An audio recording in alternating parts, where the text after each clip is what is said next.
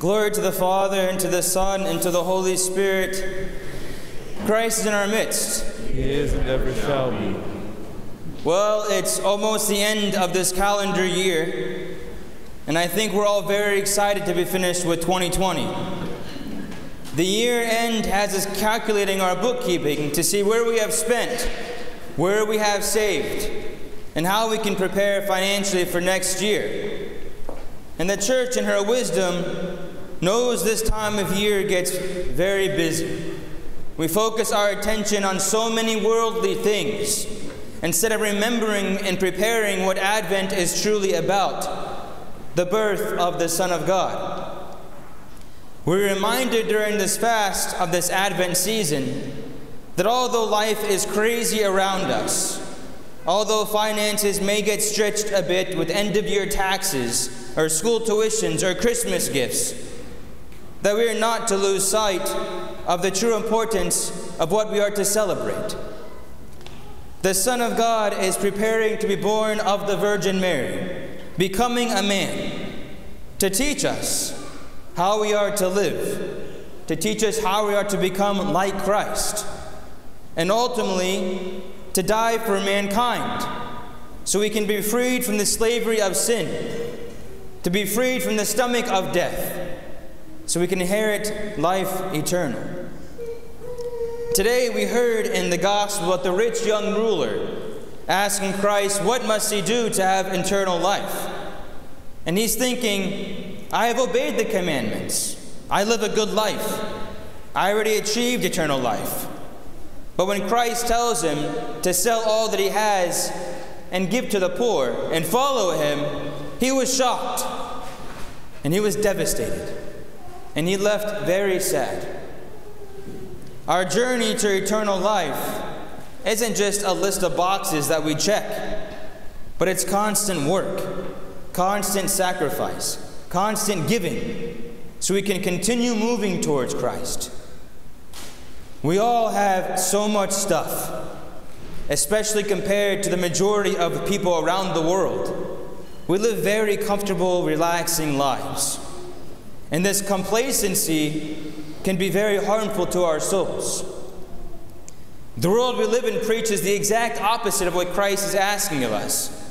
From a young age, growing up, our parents say, study hard so you can get into a good college, so you can have a good job. Maybe be a doctor, a lawyer, an engineer, or a businessman. And thank God, nothing is wrong with that. This is great. But the point is not just to work hard and get a well paying job so we can live a life of luxury and build up temporary treasures here in this world. Listen to the words of St. Matthew. He says, Lay not up for yourselves treasures upon earth, where moth and rust doth corrupt, and where thieves break in to steal. But lay up for yourselves treasures in heaven, where neither moth nor rust doth corrupt, and where thieves do not break through or steal. For where your treasure is, there will your heart be also. We all know we live in a consumeristic society. People love to buy things from clothes, electronics, food, so many things. And now with technology, we don't even have to leave our couch. We can buy anything in the world we want in a few minutes from the comfort of our own home. But sometimes we forget that just like we can buy so easily from our home and from the comfort of our phones, we can also give just as easily. If we are to focus on the kingdom, then we have to stop and remind ourselves that no matter how much money we have, every one of us is like the rich young ruler in today's gospel. We all have so much more than we could ever, ever need. And we still desire more. And this desire and temptation for more blurs our vision of what is important, of what truly matters in this life. And most of all, it's our salvation. It's easy to go from day to day, from month to month, and forget how short our lives are.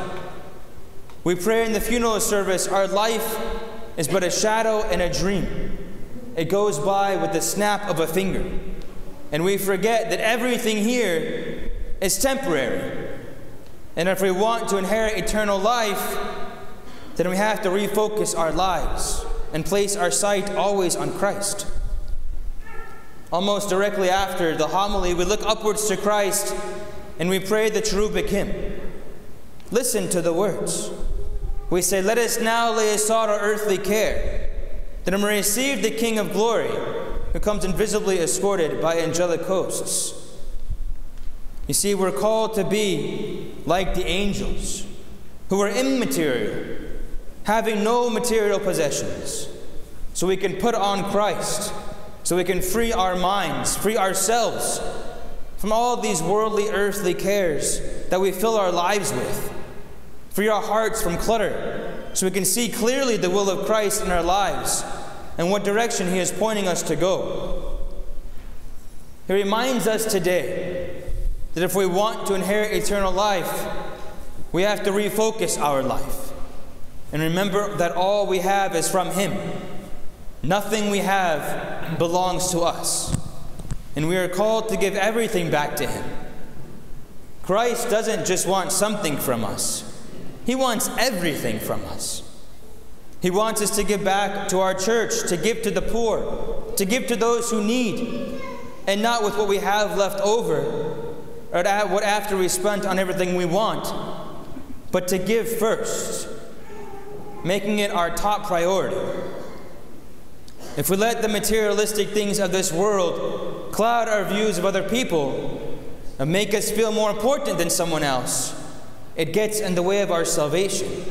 And then we lose sight of the kingdom of God, holding on to the empty promises of wealth and comfort.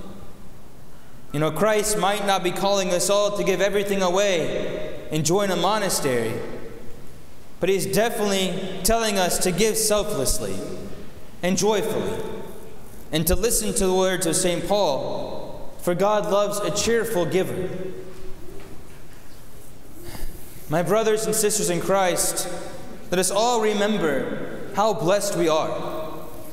And these blessings aren't because of anything we have done, but because our Lord has given us the opportunity and opened the door for all that we have. And we are called and expected to give freely and joyfully, not thinking we can buy our way into the kingdom of God or our salvation can somehow be purchased but remembering that all we have belongs to the Lord. Let us give so we can make room for Christ to dwell in our lives and in our hearts. We don't have to walk away sad like the rich young ruler, but listen to Christ's call and give joyfully, turning away from the materialistic stuff of this world and refocus our attention, refocus our life on eternal life in our Father's heavenly kingdom. Amen.